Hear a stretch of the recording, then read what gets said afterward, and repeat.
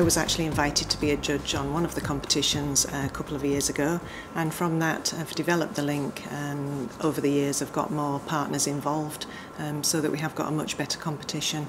And we obviously try to work with local sponsors in terms of uh, the retail industry to support the event. And it's just a fantastic opportunity for us to go back into the school environment, um, to work with the students, um, show some of our passion for the hospitality industry and get them interested. Nice sort of exciting things in terms of the menu and that they worked very effectively. The other aspect is for the schools to know that we are here as their partners as well. And so if they do want support in explaining what the university um, experience is like, we know that in the last two years there's been mixed reactions to going into university with high costs associated to it. In our industry, it's not particularly a strong area in which students think I can go to university to study this degree. Schools want a opportunity to show their students different avenues that they mm. can pursue after school, and we want to be able to be partners with them. And there's a lot of people out there that think it isn't for them. Um, so we hope that through things like the competition that we can actually build those links and make people aware that university is for anyone.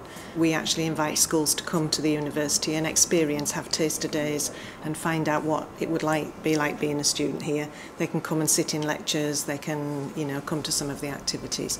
And what we're looking for in students is not just the numerical qualifications, but we're looking for a holistic person who has got a passion for the industry, has perhaps got some experience experience of working in the industry and has got a good toolkit really of skills that they can actually bring um, to higher education.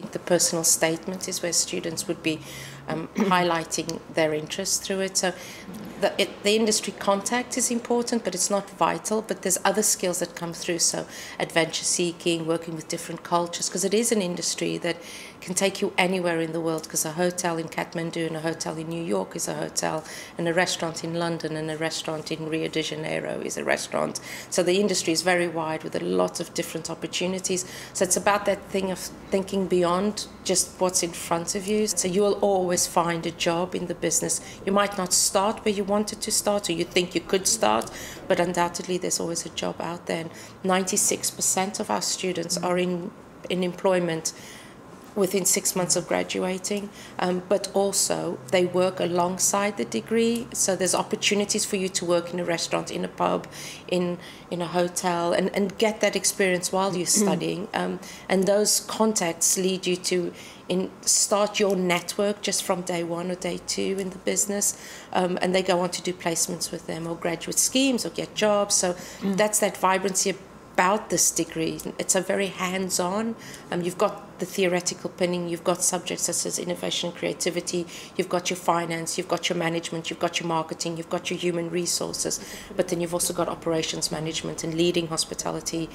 And when we actually get students into the university, then the jobs that they're going to get when they graduate probably haven't even been thought about. The course moves at that pace that the industry moves with and try to develop a, and a person who can go out and cope with the change, the actual skills that they need, whether they're on a cruise ship, you know, out in the middle of uh, an ocean, whether they're, you know, in the Antarctic um, running a hotel, which is one of the only sectors that hasn't got hotels just yet, uh, but may have by the time they actually qualify. So I was really, really lucky. I managed to do it um, at Ask, which is five minutes down the road um, from where I lived. Uh, it's fast casual, but it's almost trying to open up a niche into um, slightly better quality fast casual. So not quite your Harvesters, not quite your Frankie and Benny's, moving a little bit further. Slightly better quality of food, different style of service. So I did a year there. Started off waitering. Um, very quickly moved up into supervisory roles. Took on more and more responsibility there. Uh, had a fabulous manager there who really allowed me to express myself. He said, "Look, what do you want to learn?" I said, "I want to learn about training and HR."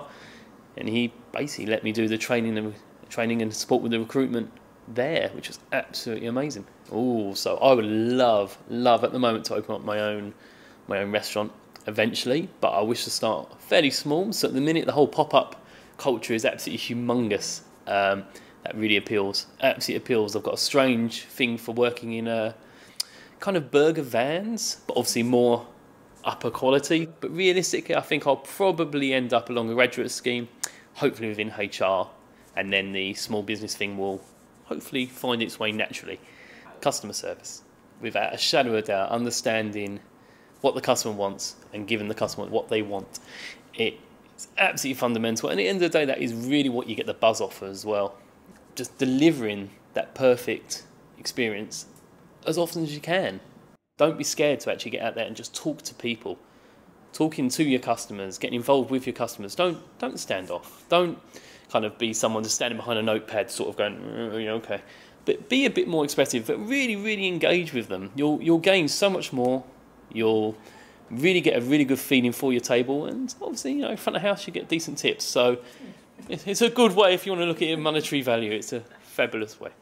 Confidence, absolutely, confidence, a real get-go attitude. Just basically someone who wants to learn, someone who's engaging. Try and get on with your manager. Your managers are absolutely human. They're not some scary beast. Um, I like to think I'm not. And so really just engage with them, talk to them, become friendly with them. Uh, and then just confidence. Just have your confidence, go out there and just express yourself, like I was saying before. That'll win over. The majority of good managers will absolutely love you for that.